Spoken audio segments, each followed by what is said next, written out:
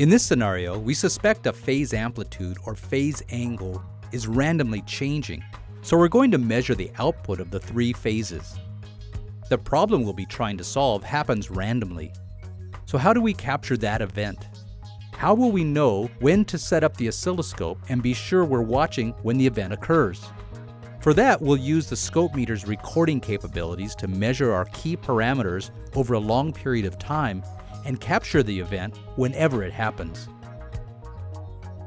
For this test, we'll be using the previous setup to measure the amplitude of the three phases, as well as the phase angle between input A and B.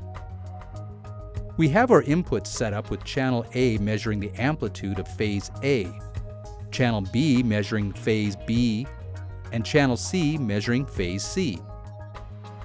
Our defined measurements are the amplitude on each of the three phases and the fourth input reading the phase angle between input A and B. In order to capture a random event, we'll use the function called recorder mode. In trend plot mode, you can capture or record events from as little as milliseconds up to 22 days. The oscilloscope will acquire the input signal measure the values, and store the min-max values in memory, holding major event changes in record. When I invoke a change in the phase angle on the demonstration board, you can clearly see how the event is captured. These events may happen at any time.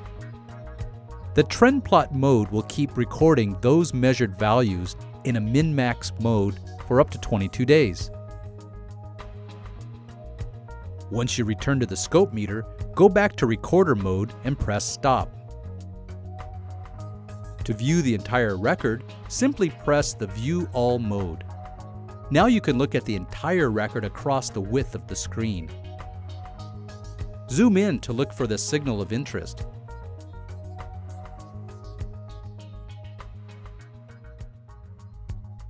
Here you can see how the oscilloscope has captured a phase angle change between phase A and B.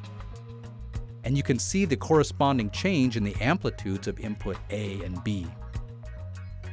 Without the ability to record those measured values over time, you would most likely miss the event that could be causing your problems.